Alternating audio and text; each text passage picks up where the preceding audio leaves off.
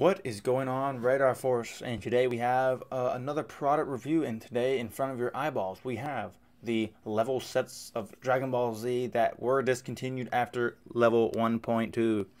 Uh, a lot of people love these things. They say the quality is amazing. Uh, I have not watched them. Mine are sealed, and I prefer them sealed because these are rare now, and having them sealed is just that much better. Uh, and they're discontinued, so there's no point in watching them. I personally think the 30th anniversary looks better. Hate me in the comments below if you uh, want to fight. Um, but yeah, I personally think the 30th is the best way to watch Dragon Ball Z. Anyways, we're going to cover the level sets. Like I said, mine are sealed, so I cannot show you the DVDs or the inserts. Doesn't really matter. Just We're just covering them.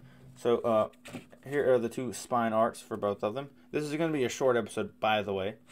Uh, and the other side of the spine. Uh, we're going to start with 1.1, of course. Episodes 1 through 17. Uh, here is the back. I love I love the artwork on these, and I love the mystery of like them being uh, canceled. It's just it's it's Dragon Ball Z has some unique crap with the releases, man. Hundred uh, percent. Here is the uh, Blu-ray case. Mine is sealed, obviously, like I said. And these are really hard to find sealed, and they're expensive as crap. I got mine for like thirty bucks a piece. Cannot complain. Season one was the harder one to find sealed though. And we have level 1.2 with Vegeta on it.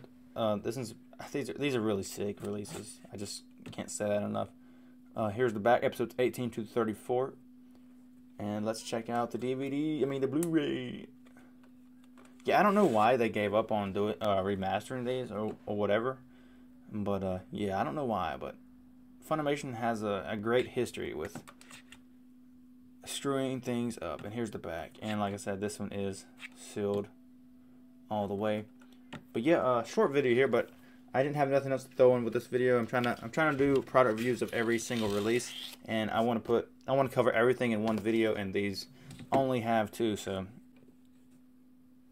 and that is it for the level sets. Uh, if you guys are enjoying this series, please leave a like, comment, and subscribe to the channel. Check out more of our content. I am planning to document every single U.S. media ever released. Uh, currently, I am slowly but surely knocking these out, and uh, we're gonna get there. Uh, I'm also still in the hunt for three things I'm missing, so I cannot do product reviews of those three items that I'm missing. So stay tuned, and maybe eventually we can get all 900 and like 41 releases documented.